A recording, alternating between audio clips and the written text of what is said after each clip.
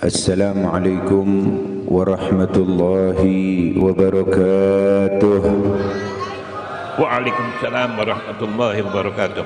بسم الله الرحمن الرحيم. الحمد لله رب العالمين. وصلى الله على سيدنا محمد. سيد الأنبياء والمرسلين وعلى آله وصحبه حق قدره ومقداره العظيم.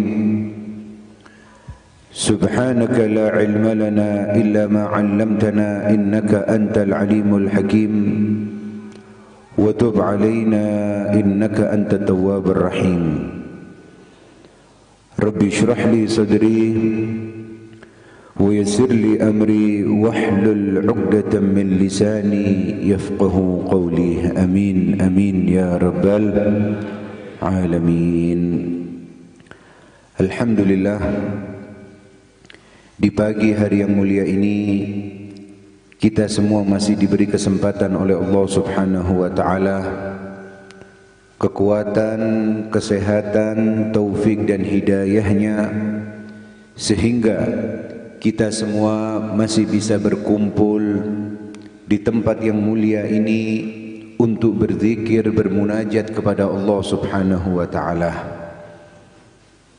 Semoga perkumpulan kita di pagi hari yang mulia ini terus diberi oleh Allah Subhanahu wa taala keberkahan hajat-hajat kita semua dikabulkan oleh Allah Subhanahu wa taala rumah tangga kita diperbaiki oleh Allah Subhanahu wa taala rizki kita semua dimudahkan oleh Allah Subhanahu wa taala dan apa pun yang kita harapkan dikabulkan oleh Allah Subhanahu wa taala. Amin ya rabbal alamin.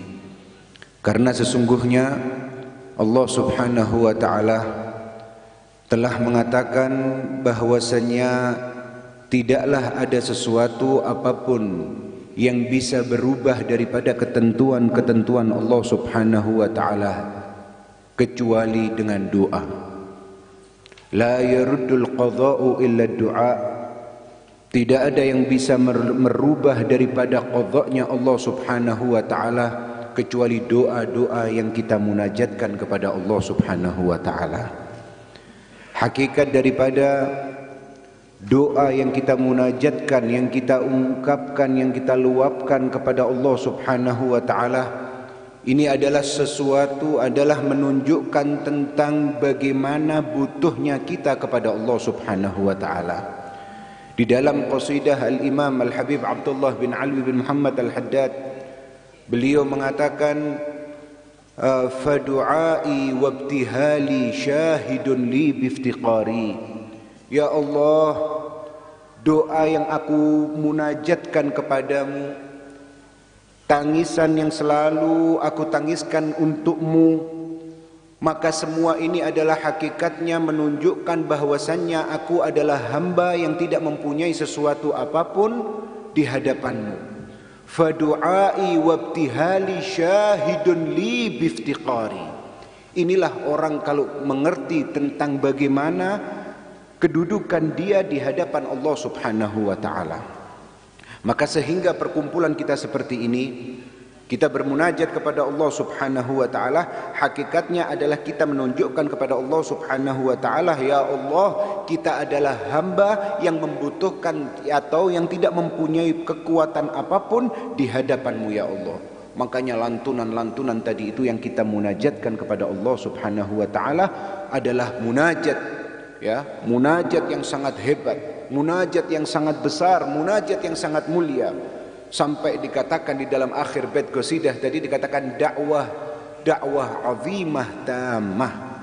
Dakwah azimah tamah yaitu lantunan doa-doa yang sangat besar.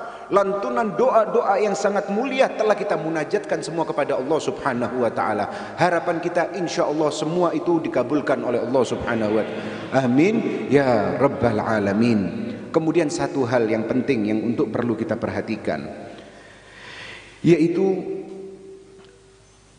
Allah Subhanahu wa taala di dalam Al-Qur'an ya telah mengingatkan kita tentang kejadian daripada bagaimana orang-orang dahulu ketika mereka itu tidak mem mempercayai atau tidak mengkaitkan semua urusannya dengan Allah Subhanahu wa taala. Dan Allah Subhanahu wa taala juga mengingatkan di waktu itu bagaimana orang-orang yang penduduk penduduk di suatu negeri mereka semua bersandar kepada Allah Subhanahu wa taala. Di dalam Al-Qur'an Allah Subhanahu wa taala menjelaskan berfirman, "Walau anna ahlul qura amanu walau kana ahlul qura amanu wattaqau lafatahna alaihim barakatin minas sama." Kalau seumpama penduduk negeri mereka semua beriman kepadaku kata Allah Subhanahu wa taala kalau mereka semua percaya kepadaku, kalau mereka semua bersandar kepadaku, membutuhkan sesuatu, mereka meminta kepadaku. Kata Allah Subhanahu wa taala dikatakan la fatahna alaihim barakatin minas sama. Tak kei. Apa yang kalian inginkan, apa yang kalian mau akan aku berikan semua kepada kalian. La fatahna alaihim barakatin minas sama. Lah, minas sama'i wal ardh akan tetapi kata Allah Subhanahu wa taala, "Walakin kadzabu fa akhadnahum bima kanu yaksibun." Akan tetapi orang-orang kata Allah Subhanahu wa taala mereka tidak percaya kepadaku. Mereka menganggap bahwasannya yang bisa mengatur kebahagiaan daripada kehidupan mereka adalah akal yang mereka miliki. Yang mereka mengatakan tidak bisa kalau kita begini tidak mungkin begitu, begini dan begitu. Walakin kadzabu kata Allah Subhanahu wa taala karena mereka sekarang sudah tidak percaya denganku. Fa akhadna alaihim. Kemudian langsung di situlah aku beri mereka semua siksa dan aku beri mereka semua cobaan. Makanya kalau kita lihat sekarang bencana di mana-mana bertubi-tubi. Musibah cobaan daripada Allah Subhanahu wa taala tidak tidak pernah kunjung berhenti. Kenapa? Dikatakan kata Allah Subhanahu wa taala kadzabu bi ayatina mereka tidak percaya denganku kata Allah Subhanahu wa taala. Ayo dengan kepinteranmu. Ayo arsitek yang mana kalian pinter untuk mengatur saluran pengairan, saluran begini dengan begitu. Kalau Allah sudah mengatakan Allah sudah mengatakan kun fayakun, buyar. Jebol tandon-tandon tadi yang sampean atur, beton-beton yang ini menurut ilmu dengan ukuran kuat, dorongan sekian, dorongan sekian tidak bisa. Allah Subhanahu wa taala mengatakan fa kadzabu bi ayatina gak percaya ambil aku fa akhadnahum tak rusak apa kata Allah Subhanahu wa taala. Makanya kita ini kan perlu untuk sadar dan kembali terus kepada Allah Subhanahu wa taala. Bahkan kadang-kadang orang-orang kita wal billah mereka mengatakan lah kita doa terus, doa terus, doa terus, tapi tidak kunjung kita melihat ijabah daripada Allah Subhanahu wa taala. Jangan kamu bilang begitu. Allah Subhanahu wa taala dalam Al-Qur'an telah mengatakan Ud'uni astajib lakum. Dua orang aku tak kabul. Lah, tapi pengkabulan Allah Subhanahu wa taala kepada kita yaitu caranya dengan macam-macam cara yang telah diatur oleh Allah Subhanahu wa taala. Kadang kita dijauhkan dari bala, kadang kita dijauhkan dari musibah, kadang kita meminta uang tapi kita tidak dikasih uang oleh Allah Subhanahu wa taala, akan tetapi diberi keturunan rizki, keturunan anak soleh soleha. Ini kan semua termasuk salah satu daripada pengkabulan doa daripada doa yang kita munajatkan kepada Allah Subhanahu wa taala. Ya, mari kita sedikit demi sedikit untuk lebih sadar menjalani kehidupan kita. Semoga kita selalu diberkahi oleh Allah Subhanahu wa taala. Amin ya rabbal alamin.